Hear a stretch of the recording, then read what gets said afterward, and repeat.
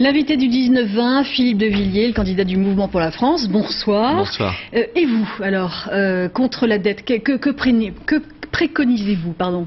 Deux choses. D'abord, baisser les impôts des PME qui créent 4 cinquièmes des emplois, PME artisans, euh, en divisant la charge fiscale par deux, ce qui permettrait, selon l'INSEE, de créer 800 000 emplois dans l'année. Et deuxième chose, diminuer les dépenses publiques. Je donne trois exemples Mhm. de ce que je ferai immédiatement. En abrogeant définitivement les 35 heures, on fait une économie sur le budget de l'État de 20 milliards d'euros.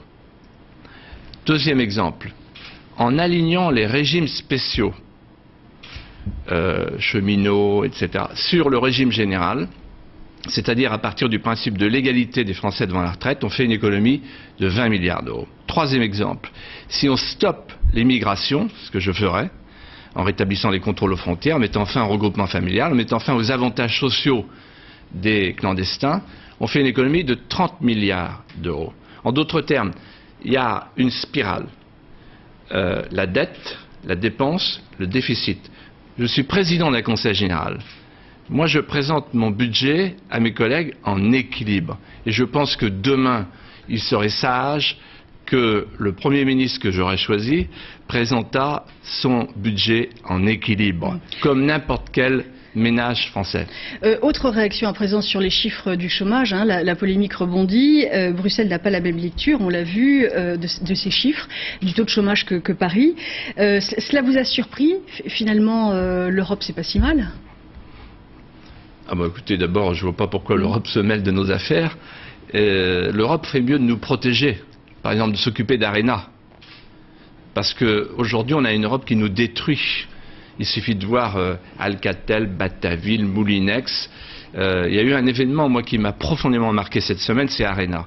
C'est-à-dire que pendant qu'on avait notre championne extraordinaire, Laure Manodou, qui exhibait sa médaille d'or, juste au-dessus, il y avait, je ne sais pas si vous avez vu sur son maillot, il y avait marqué Arena. Et on voyait les ouvrières de la Gironde, de, de Libourne, qui pleuraient.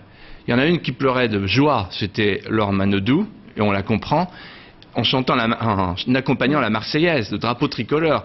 Et elles, les ouvrières de Libourne, elles pleurent. Pourquoi? Parce que Arena part en Chine. C'est-à-dire, c'est bien beau de valoriser le travail, comme le disent certains candidats, mais le travail, il part en Chine. Et moi, je veux une Europe qui nous protège. Alors maintenant, sur le chômage, première chose que je propose, une protection douanière européenne et un euro faible plutôt qu'un euro fort pour encourager nos exportations.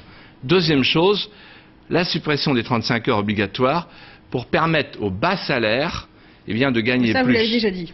Je l'ai déjà mmh. dit, mais je le répète que ça, c'est mmh. capital, parce que par exemple, Nicolas Sarkozy propose une réformette.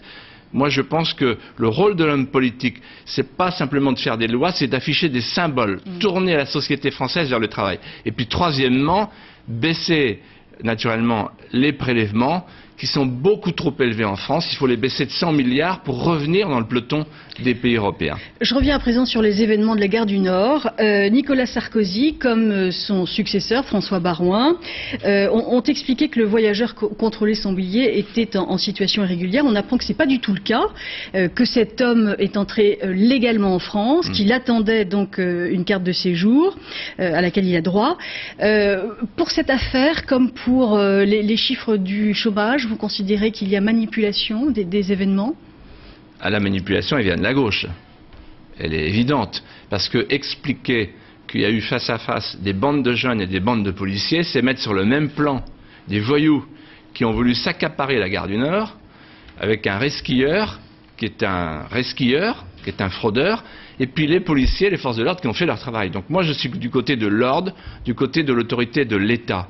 Il y a un point commun entre Arena et cette affaire de la gare du Nord. Euh, qui n'est pas évident, mais quand on l'explique, alors tout s'éclaire. C'est qu'un pays qui n'a plus de frontières, qui n'a plus de protection, eh bien, euh, il, subit une immigration incontrôlée. On voit le résultat en gare du Nord. Et en même temps, eh bien, il se laisse aller à l'hémorragie des délocalisations. Moi, je veux défendre une idée neuve, le patriotisme. Qu'est-ce que ça veut dire le patriotisme Ça veut dire non, mais ça, veut mm. dire le contraire du mondialisme. Le mondialisme, c'est toujours moins mm. de protection, toujours moins de frontières, toujours moins de liberté des peuples, toujours plus d'immigration, toujours plus de délocalisation. Eh bien, moi, je veux préserver la vitalité de la France, la souveraineté de la France On a compris. et l'identité de la France. Merci beaucoup, Philippe de Villiers. Merci.